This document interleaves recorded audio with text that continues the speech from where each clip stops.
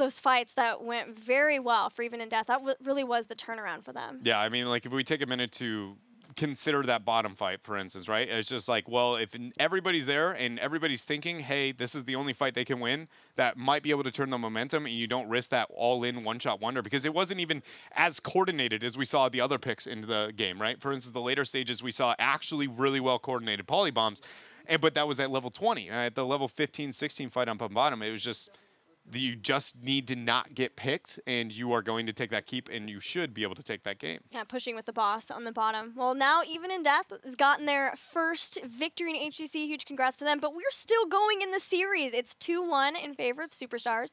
Superstars losing that last game now will have an opportunity. Likely they're going to choose first pick. We know that of them. Um, we might be out of Even in Death Battlegrounds that we know they like. I sorry, I got distracted. Somebody was talking in my head, and I got something about even in Death Battlegrounds that they like.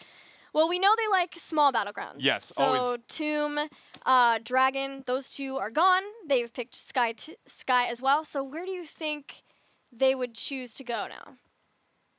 You're gonna go to you. There's no small maps directly left, right? So then you kind of look at well, what do I gain? What do those maps have in common that I obviously focus on my strengths? Something weird like Battlefield of Eternity comes to mind. I don't think that that's going to be the focus. I think that's their band. That's their they band. So then, w- then where would you get that kind of macro? I actually don't know for a team as young as Even in Death, because again, we don't get to see it. Like I look at Towers, maybe Cursed, Braxis. Braxis. So then what do we have here? Band was Superstars went with the Curse band, which is again, man, Braxis and Dragonshire, by almost every other team in North America, both are not even going to be an option, but even in Death gets them not only in their series with superstars, but volunteers into them, both teams. One taking the Dragon, one taking the Braxis. Not what I would expect. And it makes a lot of sense now, considering the small maps, the small focus. I thought Braxis was banned, honestly. I just assumed that Dragonshire was the only outlier that made it through. I shortened myself because sometimes my legs need stretched. that was really I just, I do this actually in draft with a little, I'm looking, I'm gilly now. This is... What are you talking about? I'm taller. I'm definitely not standing on a platform of any kind. No, definitely not. but it's a, it's a, it's going to be ac accenting the strength because it is a two-lane map. Um, but I feel like that's an old thought process for North America. Agreed. Uh, it used to be that you could gain advantages the same way you could gain advantages like maps on Dragonshire and like maps on Tomb of the Spider Queen. Uh, but since we decided to alter the way we played, shout out to Gale Force Esports with that one. Uh, they were at least the first to highlight that style, play style, the rotational, the forcing your upper hand in North America. It's not going to be realistic for them to gain an advantage that way. So much so that now I wonder if that means it's a huge advantage over the superstars or not. Well, so this is the one battleground that Superstars won versus No Tomorrow. It's been one that they've been pretty comfortable on in the past. Um, even versus Gale Force Esports, they were willing to play versus them. That was sort of the beginning of the Gale Force style of Braxis holdout, and they had Sray on Sylvanas, so that was the first inclination of the Sray role swap. Did not work out in the end, but it was a cool idea to try to counter it. Did he do the sweet breeze? No, he didn't do the That's, arrow. That is unique to Breeze. It was the world's greatest Sylvanas impression. Never forget. He was doing that, and people were just like, what is what he is he doing? doing? Yeah. Everybody was like, is uh, Breeze going to die? Man. Play, it's a very high air guitar. Yeah. yeah. The world's weirdest violin. Tassadar was removed here for Superstars. Even in death, not one to deal with Hosie's Genji. Especially on Braxis. He is so frustrating. The way he can backdoor. Ooh. Malthael first pick. So if even in death just immediately commits to high rotations with solid solo laners like a Dehaka, a Anub'arak would be okay, but then you can't go into the Muradin, keep in mind, which has been a core to countering the strategy. But I think it's almost inevitable that we see Superstars pick Gul'dan plus another I'm focusing on laning hero. And if e even in death just goes, we're not going to care and play again like we've seen a lot in North America, which the Zagara pick is the exact opposite of what I was talking about. you just silenced yourself? It's uh, maybe not as bad as I'm making out to be. It's just that you want that pre-10. I don't want it post-10, and the Zagara is waiting to essentially get str struggle in the early aspects of it. It does decentivize any Dehaka rotation here for Superstars, but... Why would even in Death pick that Zagara so highly? Is there something behind that? Other than a cheese that I don't have off the top of my head for even in death, no. It's uh, like it's just that they're afraid of its post-secondary ban phase, that it's going to get banned out, and that they think it's core to what is going to be, in my opinion, probably one of their only strategies on this map, because you also have to realize to test multiple comps and multiple like maps is something that is really difficult to do, and they'd be like, we're best with our Zagara when it's on Braxis, and we aren't going to risk that secondary ban phase. Auriel Lunara for Superstars. Lunara over Valla, over Gul'dan, but still a tried and true battery for Auriel. Oh, oh man, please ban Li Ming even at death. No, never. Ah, oh, man. Yeah, do it. I don't know. It's weird. Uh, so into a double poison, a reset is insane. Like, it's actually just. I feel dirty watching it, let alone if I was the guy picking it and playing it. But you also have no way to get three heavy influential uh, synergistic double supporting with the Auriel, right? Like because you've committed into that. So I, I, I am torn on if I feel like it's that impactful, but it's something that I want them to at least consider, especially with the Anub'arak having the Cocoon. They go with the Zarya ban instead. Man, I am so amazed that, again, Uther has made it so far in this draft. Granted, it is Braxis. It is the one battleground we see some changes. Not wanting Chromie, though, against Auriel. So, Superstars obviously knows the type of composition that Gale Force Esports has run in the past with the Zagara, having Chromie as a way of stopping any sort of hard push from the four main instead. Plus, banning that versus Auriel because she doesn't have a cleanse is a possibility for Temporal Loop. Now, even in death, have two more picks. What are they? If it's a hidden strategy, we're going to see it here.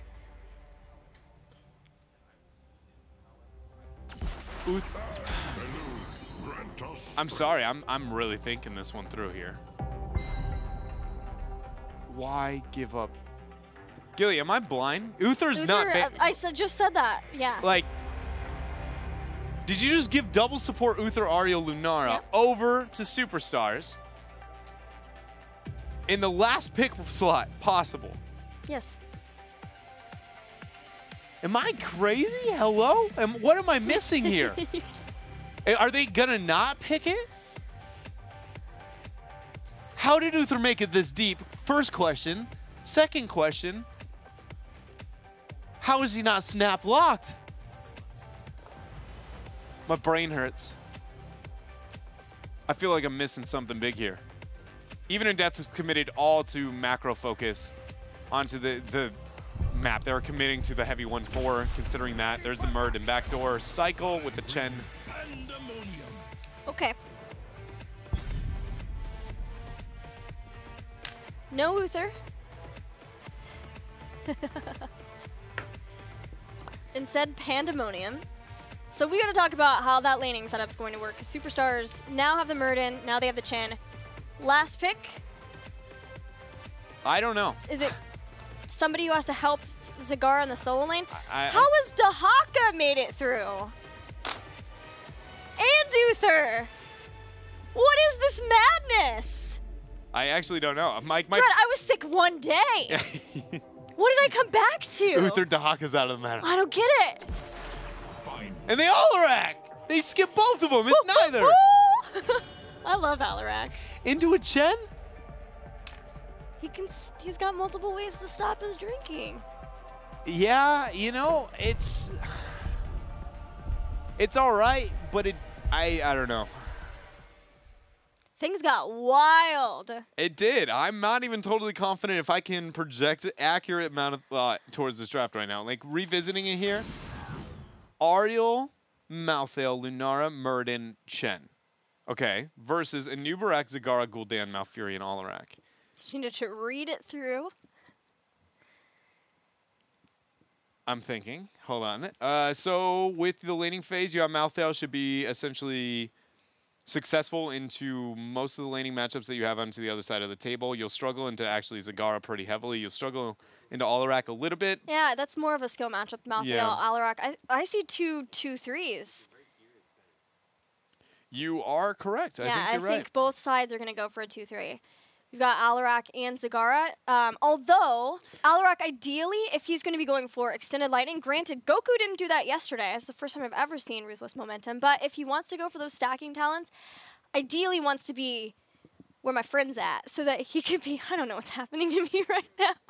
Let's just go into the game and see what they do. Game number four, Superstars and Even in Death. We'll see you there. You, we'll see you there. you were all over. Oh man, I'm dying too. You were all over the place. You had a this together. conversation, you had a sentence, you were doing a thing, and you're like, you know what? Screw it. I've given up on myself. Let's go on to the next thing. That is true. That happened. You know, the thing for me is number one, Holy Alarak at level what? one Sustaining power? increases the healing. He's got. He's gonna be in the solo lane then. That's just all about increasing your Survivability. yeah your healing received from lightning surge hitting heroes. The one thing that I want to see out of Superstars into this game specifically, and part of the reason that the Zagara, you know, in the 1-2 slot is so very risky on the side of even in death is just the fact that she is not very good if you don't have any forts up. And if Superstars goes blow for blow and matches the laning phase 1-4 for 1-4 perfectly, or even 3-2 to 3-2, Superstars will struggle post-10 as long as the forts are up. And so I would really like to see Superstars just not match even in death at all, just push. It is funny how similar these drafts are when you look at the 2-3. They both drafted for the 2-3. Both have a warrior who can try to steal away a shrine and then burrow charge or dwarf toss away, backdooring a beacon. And then you have your support ranged poison dealer, poison damage dealer between uh, Lunara and Gul'dan. Huh. Huh. Yep. It is weird. Especially because, like, that's one of those uh, dynamics that, you know, many people, I mean, probably don't even consider it. Just because at the competitive level, you don't look at things as the same roles as necessarily they're broken down. It's not the how many warriors, how many, it's more of like, well, these heroes provide this to these respective lanes, so what is that going to gain for these comps? And eh, I'm I'm still so hit or miss. I really like that North America's adapted a 3-2. I think having more diverse laning phases and understanding tho- that rotational strength, compositional strength is huge improvement to see that 3-2 is pushed. But it's my argument against like why the 3-2 works is the same reason as to why it should start failing. And that is because it's become too consistent and too norm to where the next variation should be able to come out and be able to take it out. It's just I'm surprised that a lot of teams are just going like, oh, if you want to draft a 3-2, we'll draft a 3-2. I'm, I'm going, no, I'm going to draft a 1-4, and I'm going to put my 4 into your 2, I'm going to smash them, and I'm going to trade even. Like, you know what I mean? I, that is the place I would like to see a little bit more of. Um, and it's only a matter of time before I feel like it drops off. But for now, just heavy focus. Did you see that creep spread already? It's um, actually giving me a bit of nightmares. Zagara's. Zagara, when I was a competitive player, used Okay, to be well, full creep build. And so I'm just, every time I see Zagara with a lot of creep, I just remember the days where it's like, oh, I can't move out on the map because three quarters of it's just covered by Zag because they won the early game. And that's what I'm feeling right now a little bit so far here for Frozen X. He's keeping the pressure up. He's got the infest. He's also low in mana. But yeah, he it does have infest, so he is looking to push the lane hard. He's got Alarak there for safety, to be able to make sure that Zagara can stay safe. But in the bottom lane, Superstars are bullying their way onto the point. This forces Zagara and Alarak to try to take top. They do, but not before 40% is achieved by Superstars. Looking at what builds we have, a Ring of Fry Fire, Fire is going to help a lot with clearing out that creep now that Chen has that at four. We have the new Moonburn for Malfurion. I don't know, did you see that at all yesterday? Yes. It's, uh, in general, I feel like the only consistent talent we've seen on Malfurion, actually outside of Twilight Dream. Okay. And that's about it, actually. It really is Moonfire, seems to be, or Moonburn, excuse me, the new improved. Uh, seems to be the staple so far, but we've seen different fours. We do, uh, like Europe is full Moonfire, NA has gone Treant. Uh, I did see full, that. Full entangling root strategy. I don't think anybody is totally uh, confident of what they want to see here, but so far even in Death is running a bit more of a basic one, going with Moonfire and then, or Moonburn and then into the Elune's. Yeah, Loons for the follow-up, uh, entangling roots, po- possibility of having that range if Battery wants to dive in. Really just anything, being able to have increased range of all of your basic abilities is very nice. That's why Elune's Grace has been meta for so long as a talent. Uh, Alarak went for Show of Force. This was buffed to do more damage if you can hit the full combo on somebody. Hitting somebody with three of Alarak's abilities uh, increases the damage taken. It does a little bit more bonus damage. So not not going for either of the two big stacking talents at one or four, which makes a lot of sense again because he's not sure how many people are going to be in this lane. Yeah, I don't mind not going into that. Hold on, nice rebuttal here. I think Battery should have waited a little bit longer for the follow-up. Into a Chen, you never want to stack your CCs. You want to wait till he goes, oh, I have to brew.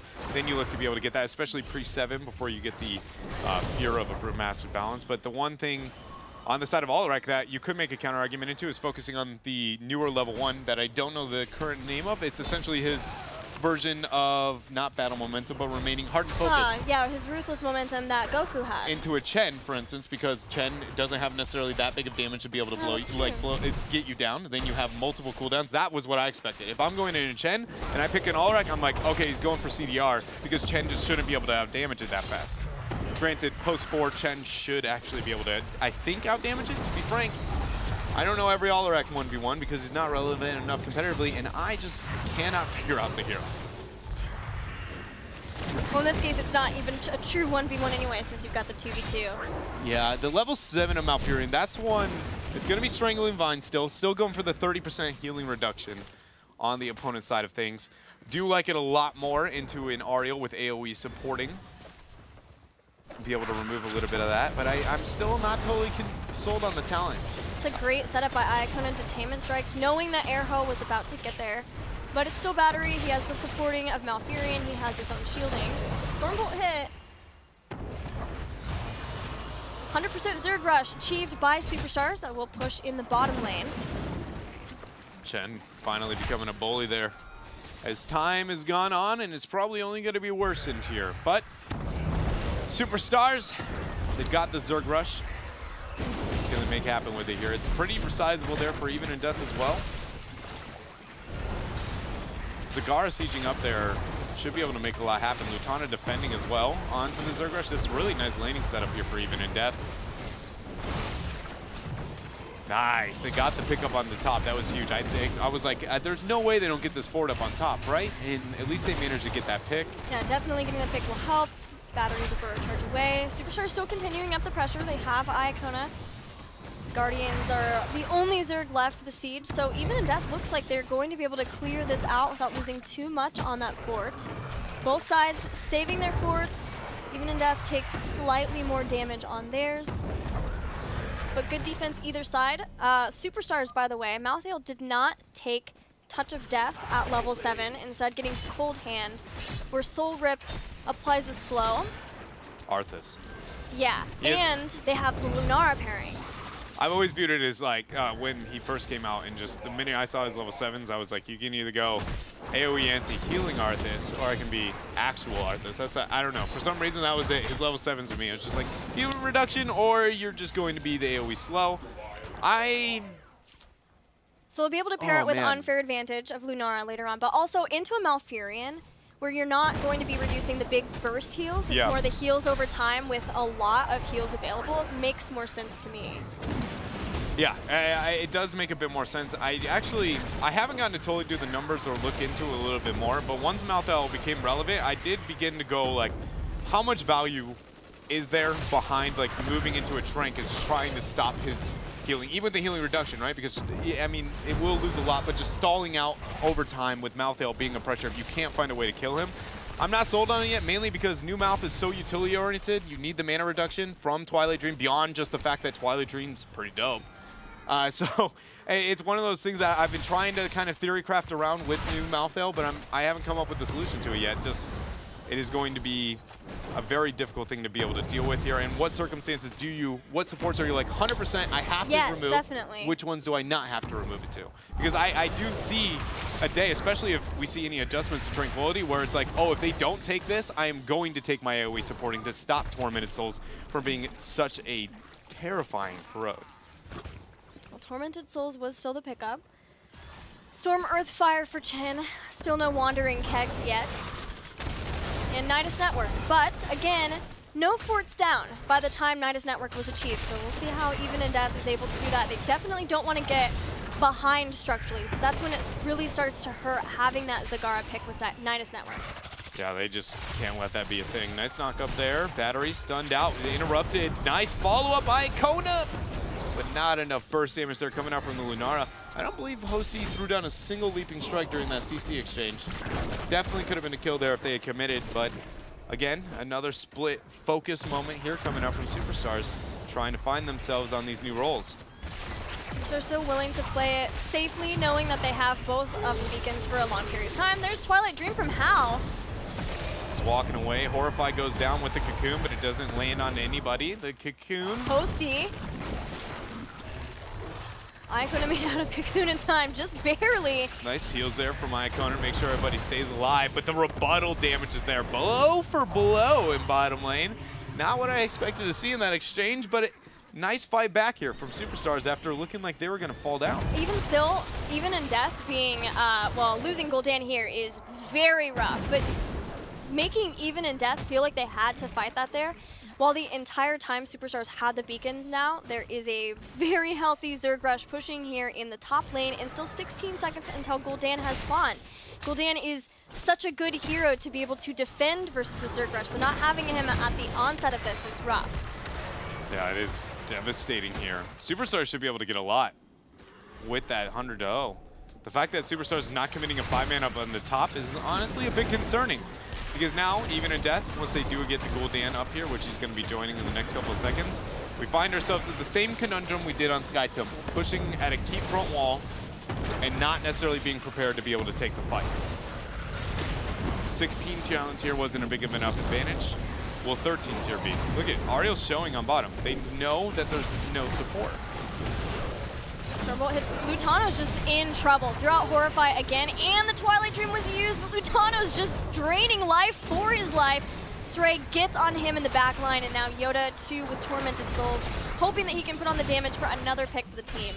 Yeah, not moving past the Zerg Rush on top of that too only increased the damage take. Therefore, even in death on taking the fight. A nice punishment here for Superstars. After winning that, they should be able to pick up a minimum of this front wall, dabble, dance around, and question they want more, but they're not even going to risk it. They're going to back out, and I'd like to see them at least open up the or focus on ma macro, getting them Merc camps right now because this is something we see a lot. If a team doesn't push with the actual Zerg Rush because of how slow it is and takes to be able to clean up, then you got to make it worth it. Immediately paint the map blue. We got the setup with uh, Auriel Lunara looked like, but instead going to just clear out the waves and then move back to their safe camp instead of trying to steal away a camp and potentially put themselves in a bad positioning for even in death to capitalize on. They got the Knights. I would have, like talking about that pressure, I would have liked to see it onto the fort or anything. It's just that even in death, got a free clear. They didn't dance around, throw out any spells. The question if they could get another pick, they just kind of walked away and was like, again, you know, I, I have a slight upper hand. Am I going to risk anything? And if you don't, then always make it with a high amount of intent, right? You're like, oh, well, we aren't going to fight this. We aren't going to risk this. But guess what? The minute this drops, we've got three Merc camps coming your way. We're going to pressure out.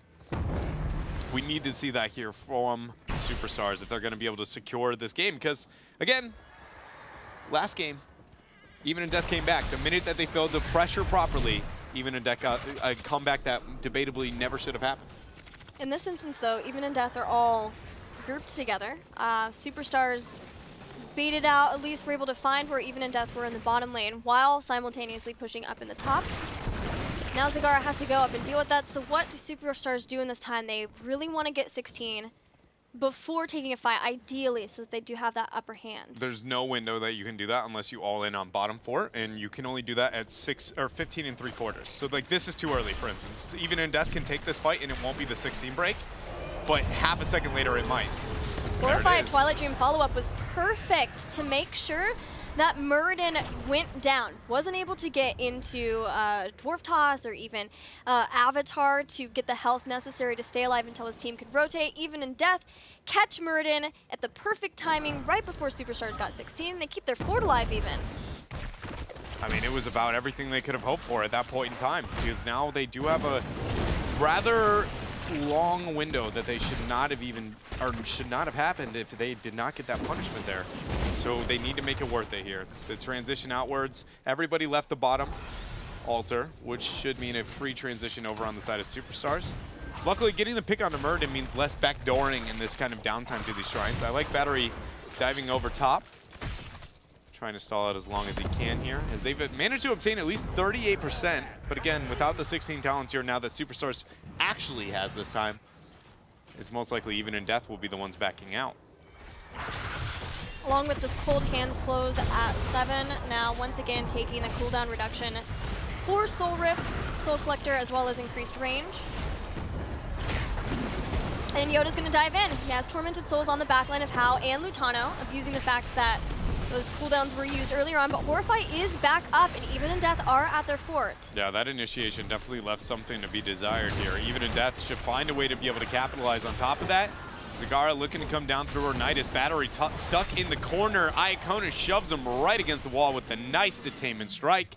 And that is now a kill here for Superstars. They quickly move on to bait or on to boss.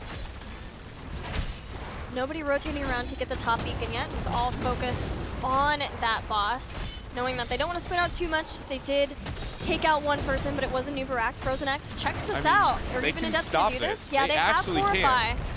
They have Cocoon too, but it's of course dead, so never mind that. right, it's all about the Horrify now. That's the biggest boss tool here. Nice zoning coming up from Urho. The Horrify is not even going to be a thing as they just full retreat on out. Eventually Yoda moves in. And the slows, the splintered spear, Hosty wailing away there with her javelin. That is a javelin, huh? She throws an actual javelin. Is it a javelin or just a spear? What's the difference between the two, actually? Uh, why do we do this to ourselves? I actually don't know. I make the mistake every time where it'll be like flail mace thing with Johanna, but now I'm looking at it, I don't actually know what she throws. And how do they replenish after she throws the first? She's got a secret quiver. Where does she hide it? I had to, I had to figure that one out. Sylph, Sylph has a quiver that she has too, but she pulls hers out of like death area. you know, like she mind oh, controls. Oh, an alternate dimension. Nailed it. Boss dealt with. Zerk here. 50% to 100. Keeps her still alive for even in death. They've got 16 now. They do. So now, Superstars. This is... Oh, man. They're going to push out here. Zergrush is going to move in. It's just this is the exact same thing we saw into the last game. They have the objective. Gul'dan is going to weaken, weaken, weaken, but do we see Even in Death actually getting the pick that they need? Look at Hosty. That was that two combo. auto attacks away so close to going down, and Hosty is the battery for Auriel. That is not what they want to happen, but now Homicidal is being dove upon. Turns around. Oh my dream! How just slayed with that Twilight Dream. Sadly, nobody got killed, but that was real impactful. The fact that that thing just, I mean, let's be honest here, if that Twilight Dream did not go off right like that, Superstar is just four-man wipe, that's game. Yeah, it was Twilight Dream and Counter-Strike too, just blasting through Superstars so well. Even in death, somehow defend their keep again. So what are they, like this is now the moment, you know, that they have to get something. You can see them grasping up towards top keep. I don't know if I like this over bottom more. I get the idea of moving into the keep and the relevance of getting a keep and the impact that's going to have, but it's also one of those kind of how long am I going to get chased, and when you are against a Chen and a Malthael, those are two factors that you definitely need to consider. But also the lack of, you know, Tormented Souls. I think that's one thing I want to see more of, especially in NA now that Mouth is a thing, um, is much like old school Malfurion. When you saw the Trank, you were like disengage and then we re-engage it feels like Malthael is that impactful to where it's just kind of like wait for the Tormented Souls, like when Yoda engaged on bottom for it, and then be like, wait, wait, wait, okay, now we all in. Especially once uh, next week comes in and you have that increased cooldown of Tormented Souls. Yeah. That's going to be even more a thing. The cocoon reveal. Can they get the kill? The healing reduction is there. Roots The underneath. knock up. Horrify, Malthael, goodbye. And that's three, two heroics only used on the side of even in death. And now they find themselves with the keep. Are they doing this? There's no way. I've said that before, but I mean, there's actually just no way. They they agree. They're gonna back out there. It's just I I was scared for a moment, but when you look at the damage that they have on that side, it's like Zag is pretty good at it, but she's very susceptible. Alarak is terrible uh, because he's just looking for a pick, and a Anub'arak doesn't necessarily stand out in that area. A lot of it would just have to be keep Zag and Gul'dan alive, and if you're banking on that one in the later stages of the game with only a mouth, it's a little too hard. But even death, they waited out, and we are now going to find ourselves Superstars still with an experience advantage, but even in death got the first key. They did. That makes a huge difference when you look at the next beacon phase activating in 12 seconds. Boss being checked by the Wisp, the rest of Superstars. Mercenary Camp is going to force positioning of Malthael at least. Superstars heads up to the top to make sure they're not too separated from him. They hold that beacon. Even in death, take the bottom. Setting up a party bush. They are. This is exactly what they need to do to try and make sure. It's not that you necessarily have to gank superstars, but you have to be somewhere they don't expect you to be. Oh, battery missing that E. Now look at Urho, no hesitation. He goes in, he's gonna start the fight. How has got pressure. Look at that damage from Posey though. The boss is aggroed. How is just trying to scoot his way out and out of there. He's like, no, I do not want this boss. It turns on to Saray. That was two pretty big cooldowns used. Even in death, able to force that. They get back out, they heal up versus the Lunara. They're gonna re-engage. This is it. They don't have 20. No, but neither does Superstars. They go in. Look at that damage coming out from Malthael there. He falls low. Sray tries to continue leaping strike, bouncing on in. That is Hosty with one. This is going to be a full team white Gilly.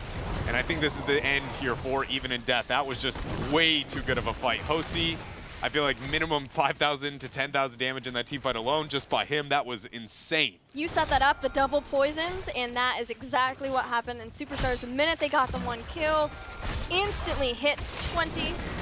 And now they head to the core to close out this series. Superstars jump on the core before the keep is down. I actually feel like I'm getting trolled. Here we go. If Yoda gets splash damage auto attacked hard enough that he ends up dying, Stray, tread lightly there, man. That's gonna be it. But shout out to Even in Death. oh yeah. Not only getting the first win here at HGC North America, but every one of those games was actually pretty close. I mean, minus maybe a, a slip up here and there, they showed that they know what they need to do to be able to come back in certain games. Even at the very end there, they took the one fight that they had to take. I mean, granted, it was a 5-0 wipe, so you go, oh, Superstars, like it really feels like Superstars ruined that game, but it was really you lost only one fight, and then you end up dropping it. I mean, they've got to feel good about their performance today. Definitely. They've made a lot of strides. Uh, they can take that performance, go back, review, and then come in next week. They'll be playing versus Roll 20 on Saturday, so they're going to need that experience. But hey, it's another uh, good learning experience. And Roll 20 obviously is still figuring some things out. We know that they are in a slump, their post event slump, as Glaurung said. Yeah, it is a really weird phenomenon that kind of happening there with Roll20. But Superstars does take the win here today. I feel like this is just going to be a continuous trend for them. It's just like how much do they end up getting better uh, with the improvements that they're trying to make here as a roster, with the changes they have, especially for again like players like Saray on that new role because he's been essentially only a a warrior player, and even beyond that, uh, ran a unique warrior pool compared to most. You know, with the heavy emphasis on Johanna for a long while. So on more fragile heroes like that Gul'dan, you can see that it's just going to be one right click in the wrong direction, half a millimeter, and it's a nice punishment from even in death. So I would like I, I like the changes, but I still want to see that improvement from them over time. What I will say for Superstars is that even though they did lose Goku, and we saw that immediately as a difficult moment for Superstars specifically, they've gained a lot with Yoda. Yoda is bringing in the aggression for the team. You could see it in the way he was engaging in fights. And Yeah. if once they get on the same page, you know, you've got Yoda and Airho engaging at the same time, then you can see the potential there for this team. And it's exciting to see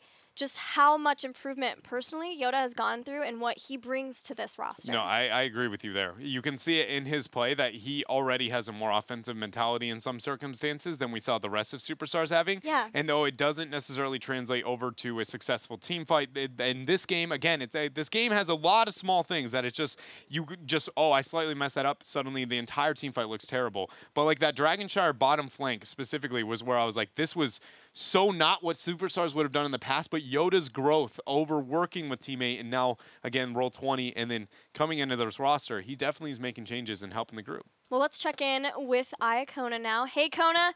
Congratulations. Uh, how have you guys' adjustments been going, in your opinion, um, now that you've got your new roster? Hey, um, I think overall our adjustments have been going pretty slow. Um, obviously, it'd be nice if the would go faster, but we had a lot of role swaps going into this. We changed up, like shot calling. We changed up kind of how we